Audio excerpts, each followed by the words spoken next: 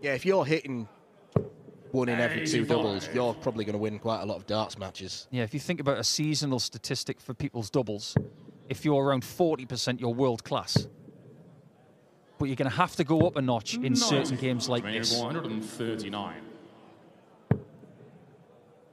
One of the toughest finishers, 139, and Wattimena's not going to take it. Would have loved to have left tops, but 80 will do. Mernon a long way back now, and more of those scrappy visits. Again, treble 20, and then it sails into the five. He's rescued it very well, does leave himself on a finish. Tops, tops for Wattimena. Why not? It's been the theme of the game so far. It's absolutely superb from Wattimena. Uh, we talk, we talked about a lack of confidence. There's nothing that lacks confidence there.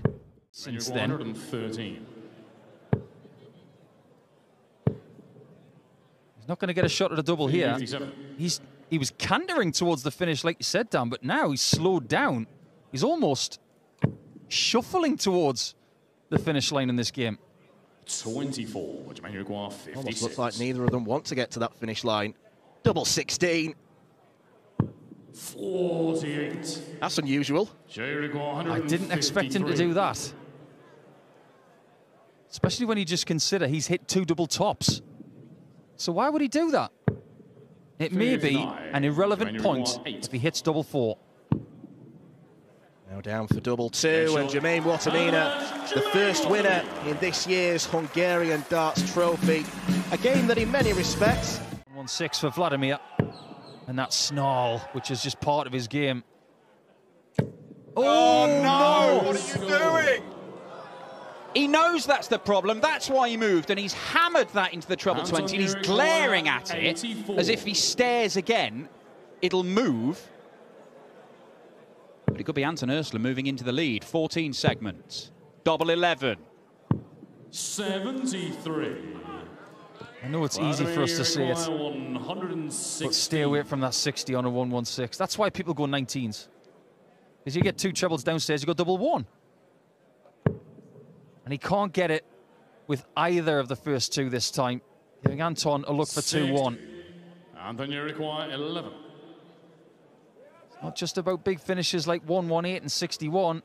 It's about the small ones like 11. Wow. That was close to a treble. Or maybe he was going for the treble to leave double one. Doesn't matter anymore. He's got the 2 1 lead. Well, one way or another, it's all going with throw and a genuine slap of his own forehead in frustration and embarrassment from Vladimir Andersen. Oh, it's lovely. Sing it, Anton. 45. Yeah, it's good. Look it up. It's nice. But Varte do nu, Anton. Where are you now? You're potentially two visits away from a debut Euro Tour win. Here's me thinking it was going to be a sixth 180. Turns out he didn't need it. He's simply three darts away from the next round. And believe me when I say this, if he's through to play Danny Noppert tomorrow, this place is going to be hotter, it's going to be louder, it's going to be brilliant. Do you want to be part of it, Anton? You're not far away from it. Not far away at all. What a way to win it! Anton Ursland explodes into round two with a stunning 145 checkout. Five 180s, an average over 97, and a scoring average of nearly 111. Uh, Mihai Vida, going to step up. Oh, it's on. No longer. And another chance. 87. Now you require 101. now then, are you going to get a dart at a double now? Treble 19 or treble 15? Single seven's not going to do the job. 47. Sebastian, you require 56. Still in the leg, though. He requires Białecki missing. So in the middle of the fat 16.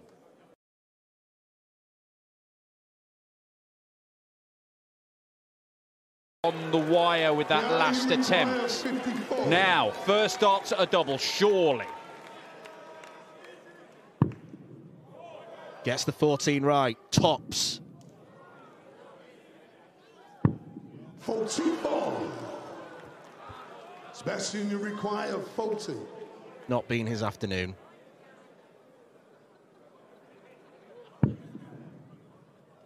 Białecki to go one oh away. Game the fifth leg.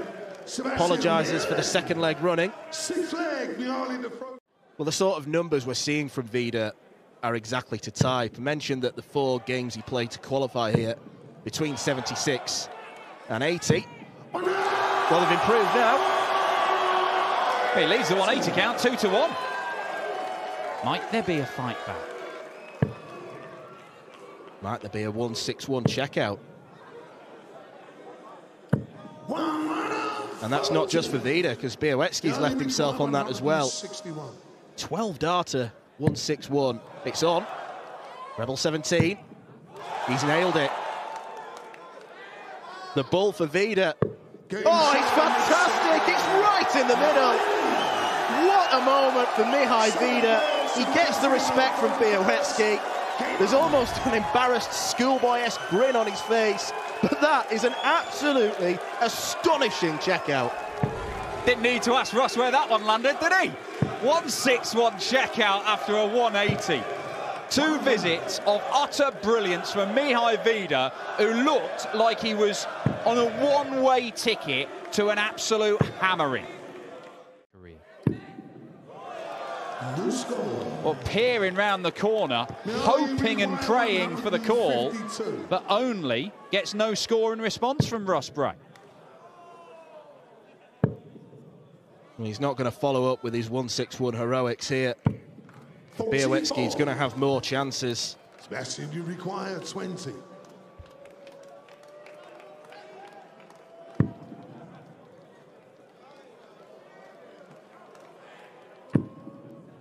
Getting further away.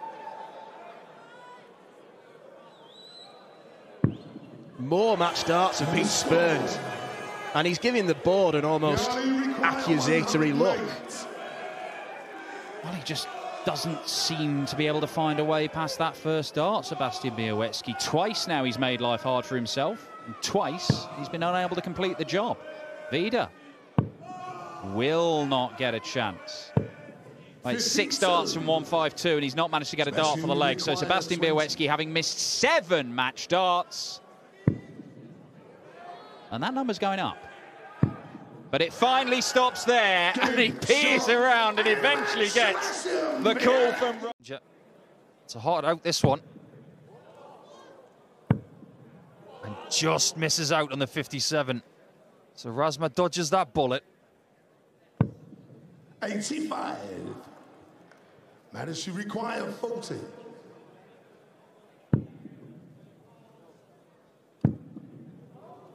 The dreaded double 10.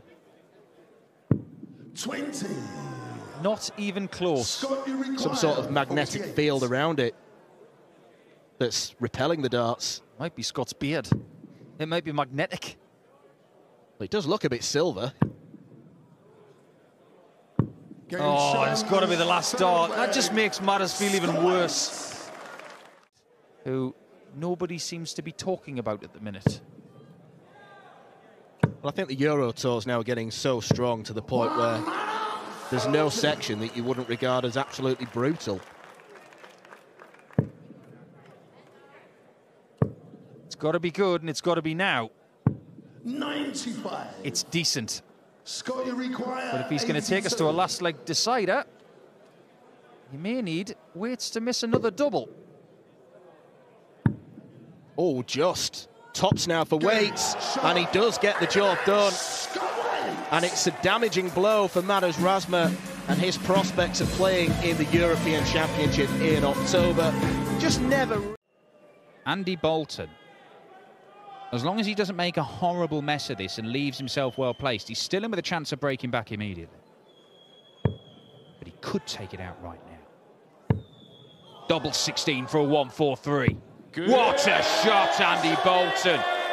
Just when he was in danger of seeing the game drift away from him, he pulls out by far the biggest finish of the match to level things up. Great players can do great things like that. There's an argument to say that maybe he hasn't done enough of that in his career to get that elusive marquee title that he craves. But my word, what a shot that is. That is one of the hardest checkouts on the dartboard. 436. You can't group throw broken. Last leg shootout, whether you've got the darts or not, you're thinking, if I can put in three 140s, I've got a superb chance. But he's better than that. He finds his first maximum of the game with his final scoring visit. What a leg of darts from Scott Mitchell. This is banditry in Budapest from Scotty Dog. Match darts to steal it away from Andy Boulton. Double 16 it is. And Scott Mitchell is nowhere near with either of them. And Andy Boulton, could it be a third ton plus finish in four legs? From being the best player in the game to being second best in the last leg, he could nick it. But he won't with two double tops. I'm surprised at Mitchell going for nine double 16, I will be honest. But maybe Sky that's because require double top hasn't really cooperated in this game. If 32 does, he'll play Dave Chisnall tomorrow. For a meeting with the number one seed. It's there, and Scotty Dog gets one over on Andy Boulton. He did lead very briefly earlier on in the match, but he still had to put back-to-back legs in just 28 darts. The best stuff we've seen from him in the entirety of the contest. Fish, but Veenstra in a good position here to really attack the Williams throw. And attack it he does. 439. Scott require 170. Well, the chance evaporates immediately, and Richard Veenstra has got an opportunity here Richard, you require 83. to break the throw and go into the lead. Missed a couple of darts from a 47 checkout earlier. Now gets one at bull. 58. He's not far away. Scott require 110.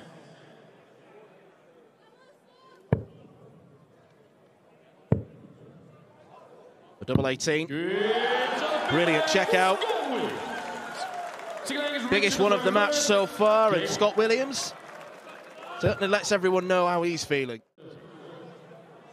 Get the ball. What could Williams do? 90. He did stay straight, but he didn't get a requisite treble. Double top. Got to go. 36. Dozen. And Scott Williams now. Having survived the dart to be broken in the previous leg and go 3-2 down, this is for a 4-2 lead. Well, the first two are nowhere near, really, but at least they're out of the way. 20. That one was closer, but not close Ricky enough. They are missing their opportunities, 20. these two. The six holds in a row. Not going to happen. Goes 16. inside, leaves double two. A 20. reprieve now for Scott Williams. Yeah, shot a. Right in the heart of the double 10. He holds his hand up So to apologise. Scott to throw first. He does not mean that in the slightest. And that could be the biggest moment.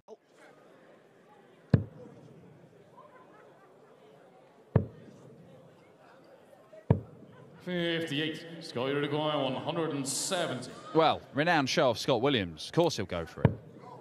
Doesn't have the option now. 94. And the last dart kind of rescues him. And it should mean that match darts are incoming, at least one of them when he returns to the board. 75. Savage leaves him a Scott, bogey number. 76. What a huge difference that's made. Comfort now for Williams. Just takes a pause, doesn't want to rush this, Game shot. and he pins it. And Scott Williams gets his first Euro Tour win of the year. One of the breakout stars of 2022. It's been leaner for him in 2023. Will this start the Scott Williams revival? What this win does now. Lost to Scott Waites earlier this afternoon, so that's one of De Decker's opponents out in the ah. early stages at least. If you consider who is still in this tournament and gunning for a top 32 spot in the European Championship Order of Merit, there aren't many. In fact, there are only three from 33rd place all the way to 50th. Woodhouse, O'Connor, and De Decker. He could do damage in this game. Big, big damage. That is damaging to Gilding. What a shot from Mike. Nothing wrong with his doubling in this game. Three hits from four. He might not be scoring at his optimum best, but he's doubling like a warrior. 60. Yeah, he's one of the biggest 180 hitters in the. Right now. Yeah, Gilding's had eight.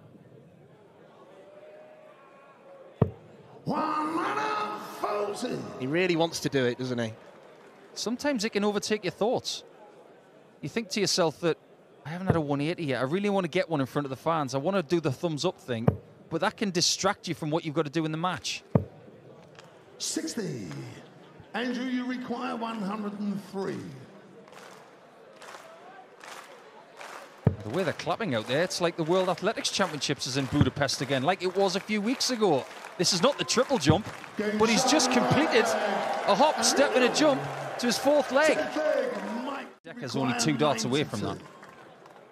Sprint finish territory. Should go to the bull. We might even favour treble 11. Well, that's what he wanted. He wasn't really that pleased with that visit, but I don't think he's that pleased with this performance. But he will be ecstatic if he's going through to play Josh Rock tomorrow, the number five seed. Double 16. Mark De Decker does seal his win against Andrew Gilding. It wasn't. That that could all follow. He could be world youth champion, just as Josh Rock did. There's so many similarities. The one thing that's different is that whenever Josh Rock plays Brendan Dolan, he absolutely hammers him. And that hasn't always been the case with Jan. That was a somewhat natural third dart. Didn't even aim it, but it does find the target. Dolan finds himself on double 18 again, looking to put right what he couldn't do in leg one, but exactly the same as happened on double 18. But double nine cooperates. That World Youth Championship final that he's got against Luke Littler. Think, without using words, I'm going to use an emoji here, the hungry one, where it's just a little bit of a trickle on the right side of your mouth. About the victory. The only numbers Van Veen cares about are the ones next to his tally for the Grand Prix. And he must be thinking about it. He's surrounded by it. It's on social media. We're talking about it. I'm sure people he hangs around with are talking about it. The other players will be talking about it. But uh, take Chris Dobey, for example, who is in danger of losing his provisional spot at the Grand Prix. He's missed out on big tournaments like the match play, having been in provisional spots, because he said, I was thinking about it and I messed it up in the final weekend of qualifying. It's not easy. This looks good. Double eight. 3-1. Van Veen, you can see from the change in his demeanour, he's happier with how his game is starting to coalesce. There's another thing as well. I know that he is guaranteed to be in Hildesheim like Jan has. We expect Dolan does not want to miss this 1-2-1. 58. Brendan, you require one. He threw first in this leg. You can't be broken at this point of a game and expect to win. Old school. Double five. 111. Great effort. But he's relying on Van Veen missing. It'll be 20 for double 16. Double 16. If it's just outside, it's a perfect little tray to lay the next one on. That's a bit far out. 36. And that doesn't find the mark. Two darts missed for 5-2. He knows how important that was.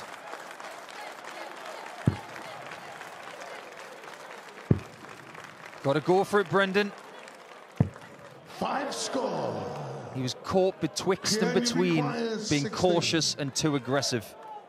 Van Veen, with no hesitation, goes back to double eight, which has been really kind to him in this match. It isn't this time. But double four is, and that's a double break. Van Veen. Leg. Gian to throw first. Can Van Veen. Oh dear.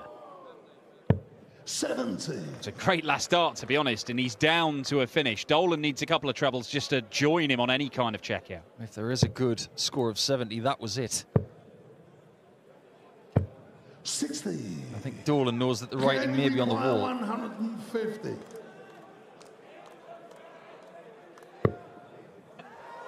Interesting call. Was that the time to do that? 88. Or was he just trying to do something a little bit different to take the pressure of the situation away? Sometimes players will do that. If he'd hit the bullseye, he might have even gone for 60 tops. Gian requires 62. Well, he's going to get a match start to take a step towards the Grand Prix. 30. He will not take it just yet, but he'll get more opportunities so to do.